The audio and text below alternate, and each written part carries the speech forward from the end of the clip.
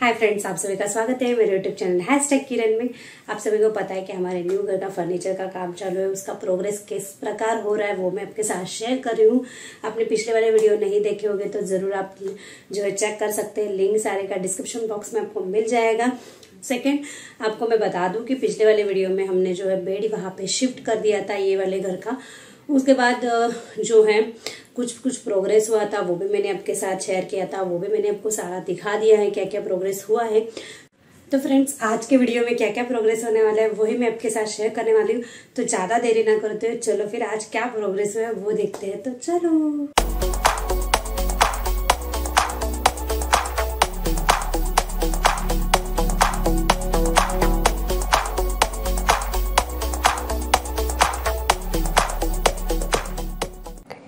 Friends आप देख सकते हैं यहाँ पे कि हमारे मम्मी का जो बेडरूम है, उसका जो वार्डरोब था, उसमें जो है उन्होंने पार्टीशन लगा दिया है।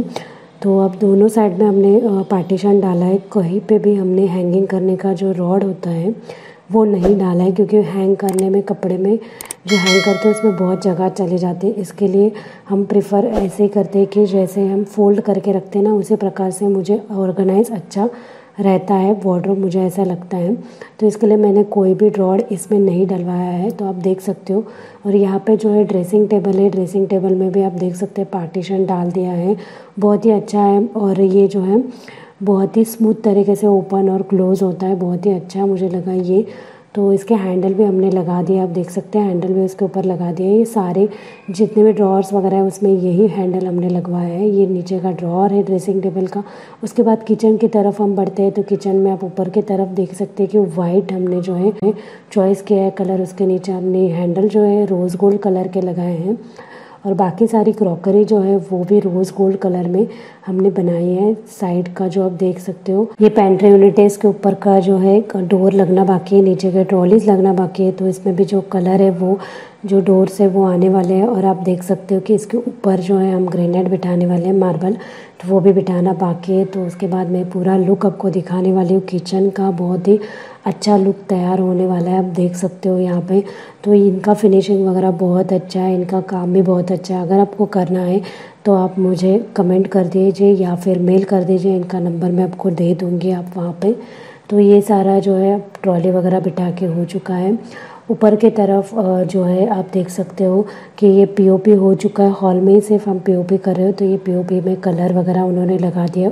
बीच में जो डिज़ाइन किया है, उसमें हमने ब्राउन कलर डाला है, बाकी पूरा वाइट ही रखा है। वाइट कलर से हमने रखा, इतना ही सिंपल डिज़ाइन हमने उसमें रखा है।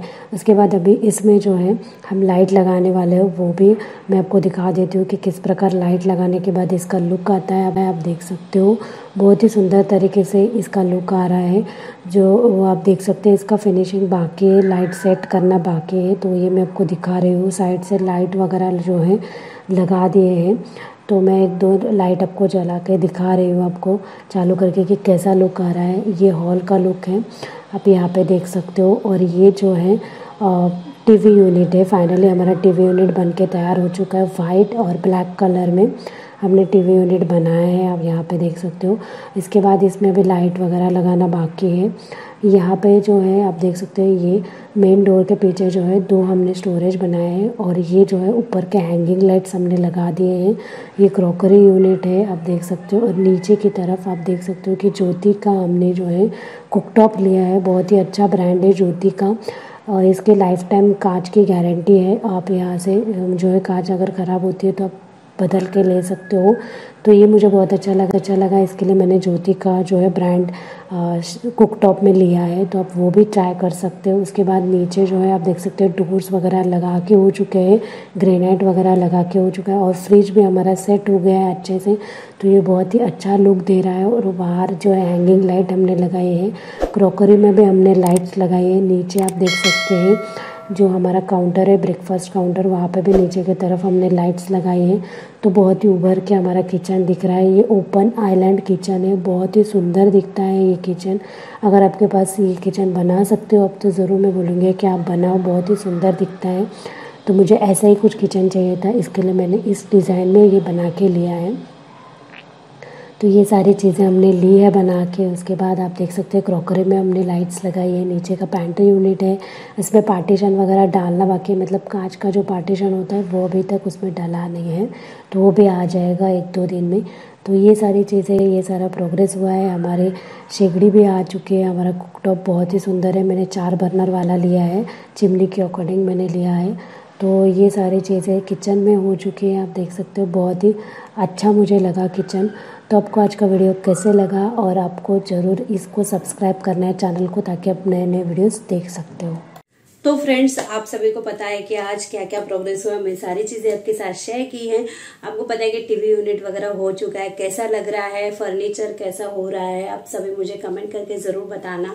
और दूसरी बात मतलब किचन में भी सारी चीज़ें हो रही है, आपको सब मैंने दिखाया है किस प्रकार हो रही है।